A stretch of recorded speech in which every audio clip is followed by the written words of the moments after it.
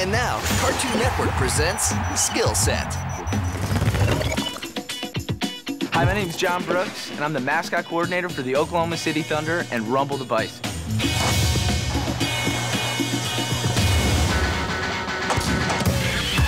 Rumble really represents the heart, the soul, and the fun that the Oklahoma City Thunder is all about. He brings a lot. He brings energy for the, for the fans, and he gets it going for us every game. Rumble's training is pure preparation. He has to practice, practice, practice, make sure that he's ready to go for each game night.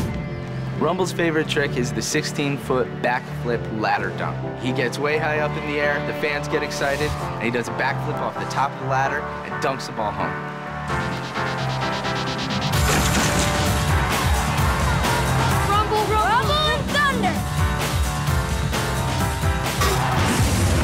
You just spent some time with Rumble the Bison on Cartoon Network.